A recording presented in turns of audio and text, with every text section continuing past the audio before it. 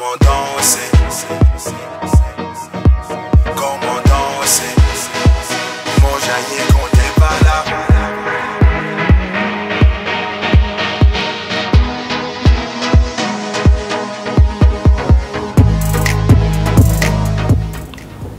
Euh, musicalement, c'est quelles ont été tes influences? Euh, Si tu vois, euh, en fait, qu'est-ce- quelles ont été les personnes qui ont peut-être défini ton style, euh, ta manière de rapper ou le style des instrumentaux que tu, que tu utilises? Quelles sont tes influences les plus euh, Ouais. Euh, bah, moi, je, dis toujours que j'ai. Lorsqu'il s'agit de rap, je dis toujours que je suis la, génération post-chronique. C'est-à-dire, j'ai commencé à, kiffer le rap vers 92-93, juste après le premier album de Dr. Dre, The Chronic. Donc, j'ai kiffé The Chronic, The Doggy Style, euh, tout ce son G-Funk, euh, Warren G, euh, Dog Pound, euh, la West Coast, tout ça. Je kiffais énormément. J'ai commencé à écrire vers 97. À 97, on est en plein dans l'apogée Bad Boy.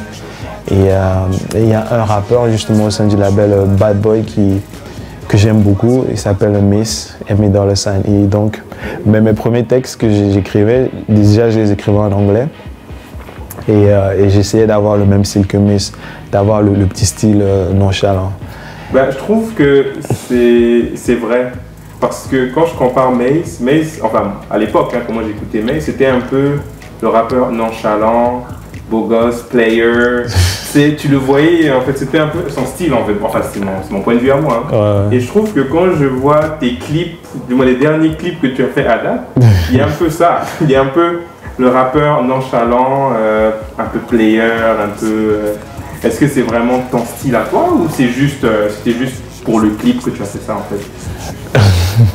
C'est ça, je suis un player. Non, non, je, non, je, suis pas un, player. C'est vrai que dans mes, dans mes, dans mes nouveaux clips, c'est vrai que c'est un peu plus commercial. Ben, une, chose est sûre, c'est que lorsque tu prends, lorsque tu, regardes la musique et le sport, tu te rends compte qu'en général, lorsque tu fais du sport, la majorité de ta fanbase, c'est des hommes. Lorsque tu fais la musique, la majorité de la fanbase, c'est des femmes. Donc, lorsque j'ai fait cet album, Le Chant du Cygne, j'ai vraiment essayé de, m'assurer que, voilà, que les femmes vont apprécier euh, euh, ma musique. Donc, il y, a- il y a plein de, de chansons d'amour. Il y a- Il y, a, des morceaux que les gens traitent de. Il y a des morceaux que les gens disent c'est un morceau commercial. Mais je voulais vraiment euh, que les femmes écoutent ma musique, tu vois. Je pense que c'est important d'avoir un, un public féminin. On dit que les femmes sont, elles sont très loyales. Donc, euh, si tu réussis à. Si, si tes fans sont, sont des femmes, ben, elles seront loyales, elles vont te soutenir euh, et elles vont t'encourager. Et tu peux être sûr que si des femmes vont à ton show, les hommes seront là aussi. Donc, Voilà, tu vois, exact. C'est- Si tu sais comment ça marche, tu vois. c'est Si, c'est- c'est si, si, si les femmes vont au spectacle, c'est sûr que les hommes iront. C'est sûr. Donc, euh, ouais. Euh, quelle est ta perception de la, de la musique urbaine canadienne, québécoise?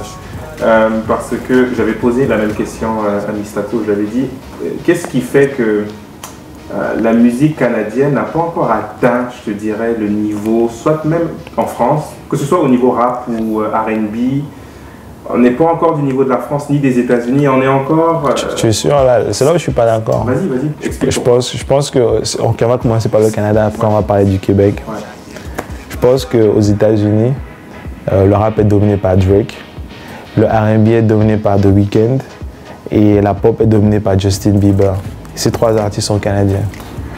Oui et non quand même. On Comment pourrait- quoi ça oui et non Ouais, Drake, oui, je suis, je suis d'accord, mais Ok. c'est- le seul à, à date qui a pu. Ok, euh, en fait, c'est l'un des seuls exemples que, que tu pourrais me dire. Re- re- regarde, regarde les chiffres du dernier album de The Weeknd. Il a, il a cartonné euh, The Weeknd. Si, Ouais, mais si, Justin si. Bieber, ça fait longtemps qu'il n'est plus. euh, Just- Justin Bieber, c'est Justin Bieber, le mec, il a, il a du succès, il a, Non, une, non, c'est sûr. il a une fanbase qui est énorme, il a un album qui sort bientôt, il va cartonner, c'est clair. Non, je comprends, mais je veux dire, aujourd'hui, euh, là, tu me prends trois artistes. Aux États-Unis, je peux t'en nommer euh, 100. C'est qui, qui, qui, à un moment, étaient au top, qui sont plus au top en ce moment, ou qui vont le devenir.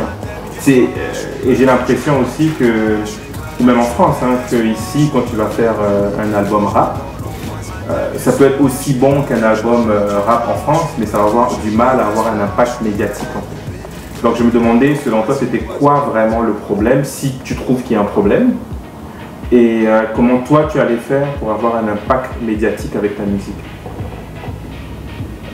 Je trouve, je, trouve que je trouve qu'il n'y a pas de problème honnêtement. je pense que je pense que le, succès va en fait le succès entre tes mains en fait. C'est toi qui détermine si tu auras du succès ou pas. Donc un, il faut avoir le talent, c'est super important. Deux, il faut, travailler dur. Et euh, maintenant avec euh, l'accès à Internet, tout est possible. Tout est possible. Euh, on a, moi, si, tu veux écouter euh, du, du, du, Kissomba, tu peux le faire. Tu n'es plus obligé de te mettre devant la, télévision et attendre que MTV euh, passe un, clip de, Kissomba. Tu aller sur YouTube, tu regardes la, la, Kissomba si c'est ton délire. Si tu veux écouter la musique du, Japon, de la Chine, tu peux le faire. Je veux dire, nous sommes à une époque où on a accès à, beaucoup de choses et on n'est plus obligé de n'est plus obligé d'aller à, New York ou à, Los Angeles pour devenir une superstar. Tu peux rester au Canada et, avoir un succès immense en France. Il y a de nombreux artistes canadiens qui ont eu du succès en France. Je, pense, euh, nombreux artistes québécois qui ont eu du succès en France. Je pense à Camaro, je pense à Corneille, je pense à Marc-Antoine, Gage. Euh, et je suis sûr que j'en oublie. Donc euh, les, frontières ne sont plus un, obstacle. Je pense que maintenant euh, tout dépend du, talent, du, travail euh, et, de ta détermination. Et ensuite tout est possible. Aujourd'hui, le meilleur exemple d'ailleurs, c'est la musique africaine. Aujourd'hui, P-Square et les, gars font des, concerts en Malaisie. Ils sont, il y a Davido, sont des superstars partout dans le monde, des whisky, etc.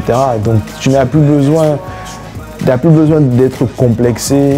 Je pense que maintenant, il faut, vraiment se débarrasser des, complexes. Si tu veux atteindre ton rêve, c'est possible de le faire. Maintenant, il faut juste que tu te donnes les moyens.